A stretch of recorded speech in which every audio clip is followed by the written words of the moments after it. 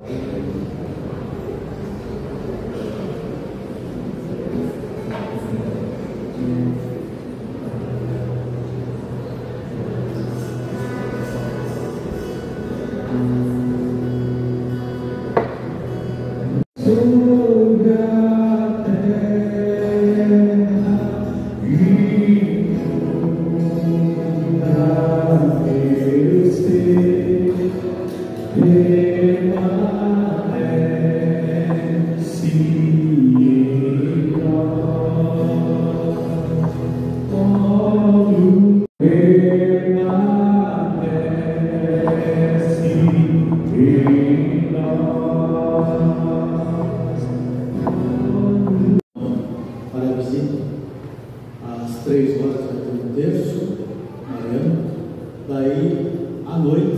e meia, tem a missa lá na Santa Antônia. A relíquia é de primeiro grau. Primeiro grau significa que é um pedaço do osso, do corpo de São Vicente. Então vai ficar só amanhã em capela. E lá na paróquia de São Antônio. Então nós não teremos a missa amanhã à noite.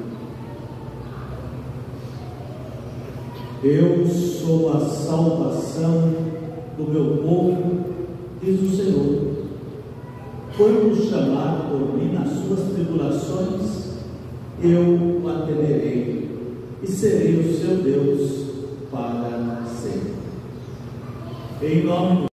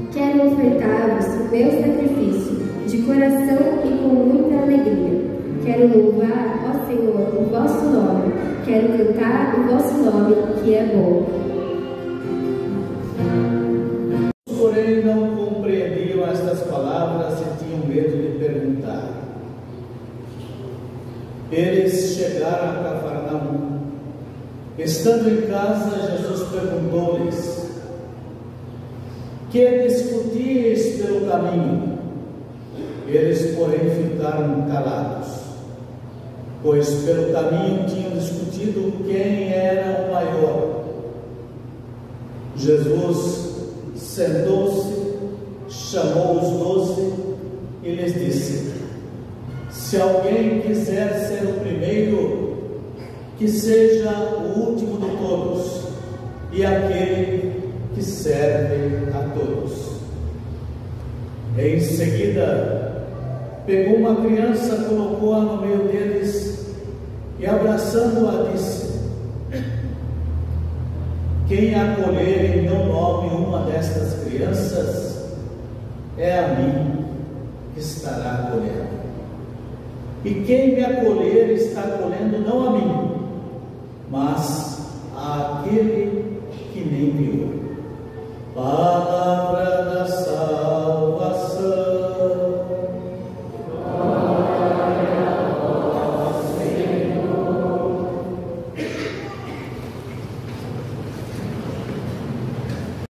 de São Tiago, versículo 16, ele vai até o capítulo 4, versículo 3, é muito belo e serve não para olhar o outro, mas para nós.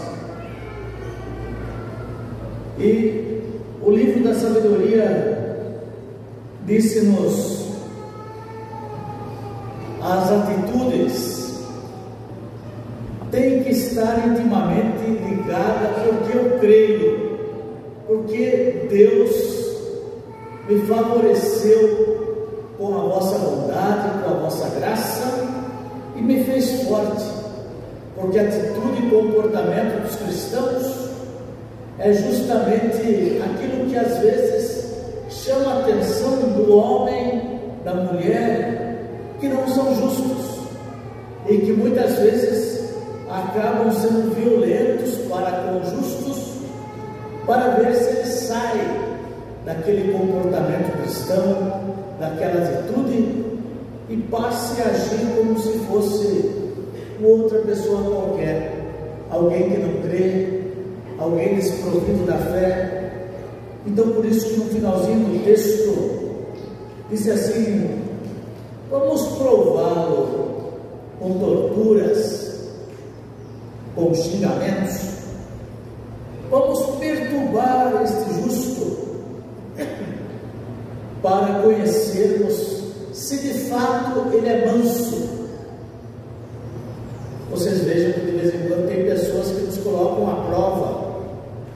Eles até dizem, ué, por que, que você não está aguentando o que estou falando?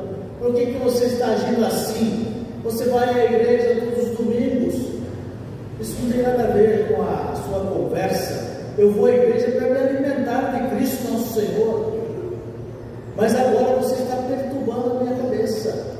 Você está tirando a minha paz. Você está instigando. Então, este livro da sabedoria disse: Olha, farão assim com o justo. E você recebe isso todos os dias. Por isso que nós temos que levar todas essas ofensas, essas torturas, levar na cruz de Cristo. Ele disse: Nós vamos testá-lo para ver se ele deixa de ser o que ele é apreciar a sua paciência. Vamos ver até onde que chega de fato a sua paciência. Vamos condená-lo à morte infame, porque segundo diz, alguém virá socorrê-lo. Daí nós estamos dizendo de Jesus nosso Senhor. Esse alguém é Deus. Ele é piedoso. Vamos ver se de fato Vamos testá-lo até o fim.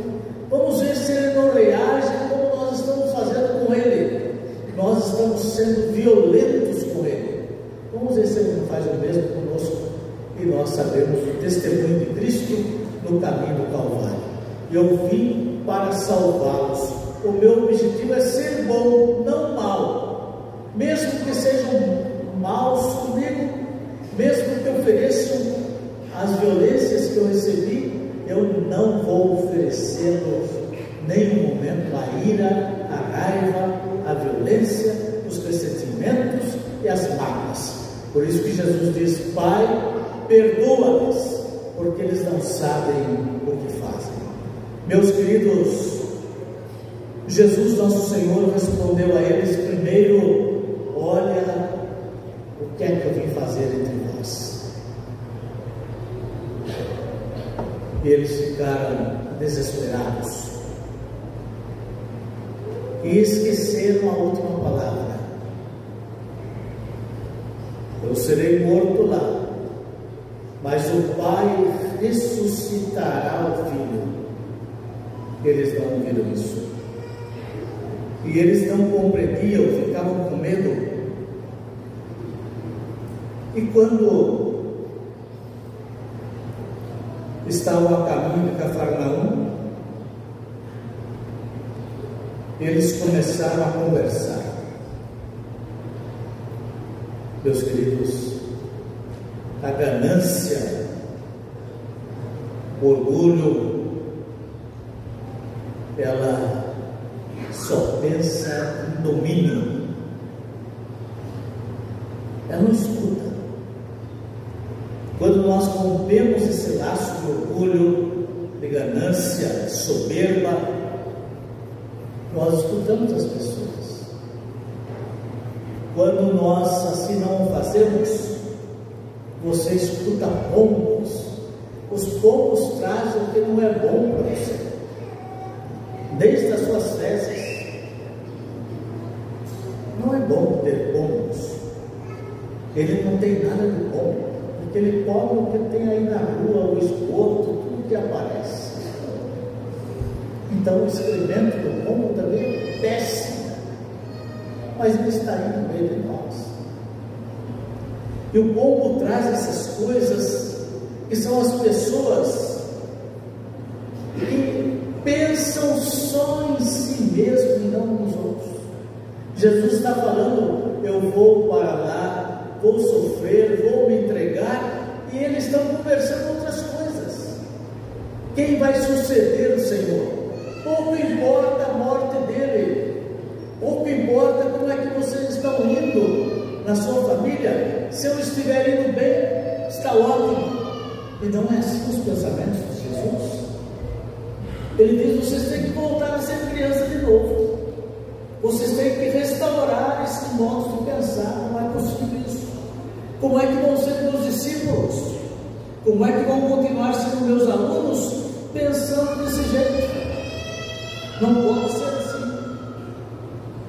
e disse: Olha, quem quiser ser o primeiro, que seja o último. Aquele que serve a todos, não é aquele que manda em todos. E tomou a criança e colocou como se fosse um convite a voltar ao primeiro amor. Vamos voltar a repensar por que é que vocês estão comigo. Vocês estão comigo não para disputar funções, cargos, serviços, para saber quem é o chefe amanhã não é nada disso. Não estão comigo para isso. Vocês não serão constituídos para mandar nas pessoas. Seria muito desagradável se vocês de repente pensassem assim: olha, hoje é o padecido que está aqui na paróquia. Daqui uns dias não é o padecido. Daqui uns dias vai ser outro padre. Daqui uns tempos virá outro ainda. Então o padecido já mandou de nós, virá outro para mandar também. Não, pelo amor de Deus seria um prejuízo para eu e para vocês. Não estou aqui para isso. Jesus não veio para isso. Já pensou se você fosse constituído e dissesse: para que, que você vai, é o pai dessas crianças? Eu sou pai para mandar. Não. Você é o pai para ajudá-los a florescer no presente e segurança para o futuro, para inspirá-los para ajudá-los a ter de fato tomar posse de tudo aquilo que lhe pertence, do melhor entre vocês. Nós vamos trocar as nossas vidas. Eu sairei daqui muito rico e vocês somarão as riquezas para ofertar a outro que vem, para edificá-los. Nós vamos dividir, porque Jesus nos concede nesta união de irmãos, nos concede a graça da edificação, da cura, das nossas enfermidades, das nossas fragilidades, e o Espírito de Deus nos faz fortes, mas não é que mandar nos outros. Deus livre. Dizer assim, ah, ele é o mais importante. Não, Senhor, todos nós somos importantes, porque somos filhos de Deus.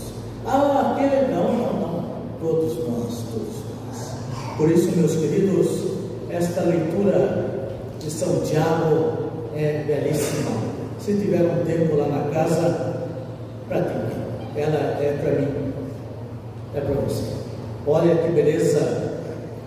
Onde a inveja e rivalidade, há também desordem de toda espécie de nações. Mas a sabedoria, o Senhor Jesus, o Espírito de Deus, que vem do alto, ele purifica, ele te dá paz, é compreensivo, generoso, cheio de misericórdia e de boas obras, não é hipócrita, mas ele é imparcial. Imparcial. E o que, que nós colhemos quando o Espírito vem a nós? Somos justos semeamos a paz para aqueles que praticam a paz. De onde vêm as guerras? De onde precedem os conflitos entre nós?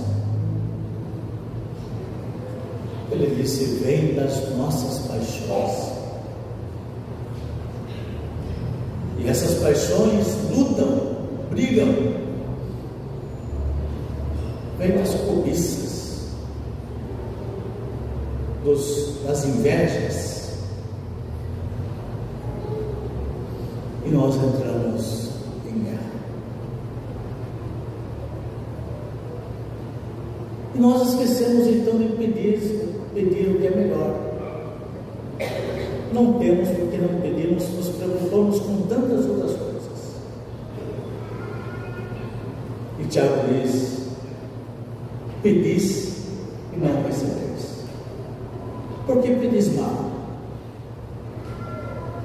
Porque, pois o que pedis é para satisfazer as paixões internas que não lhe fazem bem. Meus queridos, você peça a Nossa Senhora uma prática, a Senhora da Piedade, que celebramos com tanto vigor e beleza nesses dias todos. Peça a Nossa Senhora. É, às vezes veio um irmão para conversar também, veio para conversar com você. E ele fala assim: Eu peguei, fui lá e quase bati, estava a ponto de arrancar o cabelo daquela mulher, bater naquele homem, joguei tudo que eu queria. Você escute bem esta frase. Eu joguei tudo que estava dentro de mim em cima dele. Está certo que aquele homem que você brigou com ele, aquela mulher, ele pode estar errado. Você está certo. Mas mais certo do que isso é que você está doente. Você precisa pedir a Jesus que lhe dê a paz. Você precisa pedir que ele cure. Porque essas porcarias, você acabou de dizer, joguei tudo em cima dele. E de onde você tirou para jogar em cima dele? Essas coisas que você jogou em cima dele são boas, ruins, mas e o cara diz assim, péssimas. Pois é. Então, São Tiago diz: essas coisas estão dentro de nós. Não carregue isso. Não lhe serve. Por isso que Jesus disse aos discípulos: volte, volte, volte no seu passado. Vamos tratar lá atrás. Vocês estão feridos, machucados, são gananciosos, orgulhosos. Não é assim que faz. Voltem rapidamente a ser criança e venham a mim. Vamos criar uma nova estrutura, libertar-se dessas coisas. Para nós cristãos, você vai ouvir sempre, você escutou da boca de Jesus, dizendo lá na cruz: Olha, a última palavra que eu tenho a dizer a vocês eu não vou deixar isso aqui barato. Olha aqui, não vou deixar. A última palavra, o último suspiro que eu tenho que dizer a vocês que estão aqui, todos riem de mim, porque estou pelado aqui na cruz, machucado, com sede, sem condição de respirar, sofrendo muito, e vocês aí todos olhando pasmados para mim. Eu não vou levar isso para casa, eu vou me vingar. Nós não encontramos isso. E nós somos seguidores do Divino Mestre.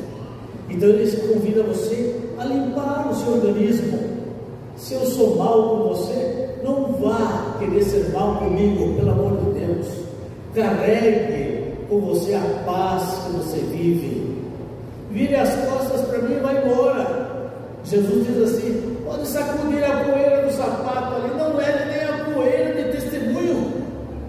Você vai em paz para casa. Porque você é homem, mulher da paz, não é da briga, da guerra, do conflito, da rivalidade. Isso nos faz mal. Às vezes nós encontramos alguns irmãos que se vangloriam de achar que estão no caminho de Deus, não é. Esse é o caminho do demônio. Porque destrói você, divide você, adoece. É muito triste. E às vezes atinge até a sua família. Porque você não contente com o que aconteceu lá na rua, chega lá na casa, resolve jogar o resto que tinha dentro de você em cima daqueles que nada têm a ver com isso. Daí você sabe, agora sinto aliviado. Não está nada, porque a panela está suja. Jogou o que estava podre, mas não lavou a panela no sangue de Cristo. Não lavou seu corpo no sangue dele. Não reconheceu os seus atos. Precisa pedir perdão. Pedir a ele, me cure, Senhor. Porque olha que estou doente. Por favor, por favor. Não sei de onde veio essa praga mas está lá na minha roça e não está fazendo bem para mim. Não vou produzir nada, não vou colher nada, por amor de Deus, pelo amor de Deus, Senhor, cura, cura-me. Então, Tiago nos ajuda. Se tiver um tempinho, leia na sua casa. É de grande valor para mim, para você e para nós, porque a gente precisa viver bem, em paz, alegre, feliz, contente e colocar na mão de Jesus tudo que nós não conseguimos sozinhos. E Ele nos ajudará. Por isso que eles disseram: vamos levá-lo à morte, porque, segundo diz, alguém virá socorrê-lo. Nós sabemos quem é esse alguém: é Deus. Louvado seja nosso Senhor Jesus Cristo. Para sempre seja louvado. Creio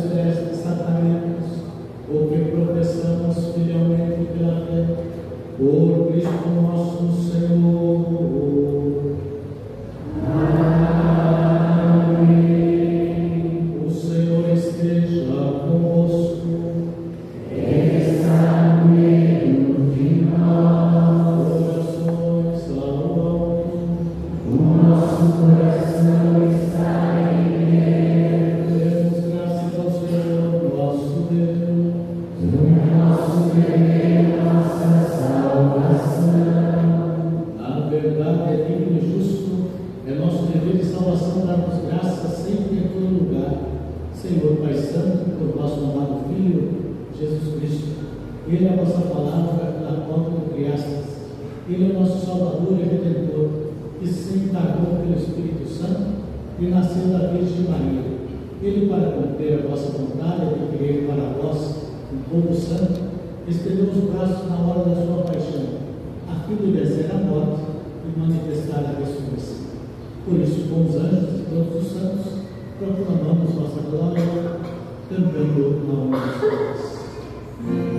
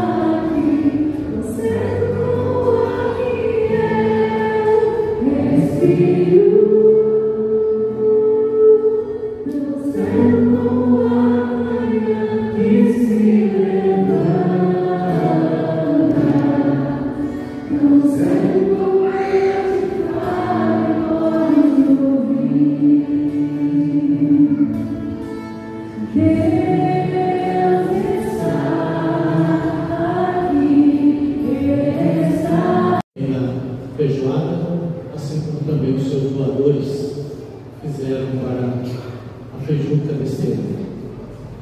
Nós, domingo que vem, faremos isso. Vamos fazer Nossa Senhora, vocês podem repetir comigo. A vossa proteção recorremos.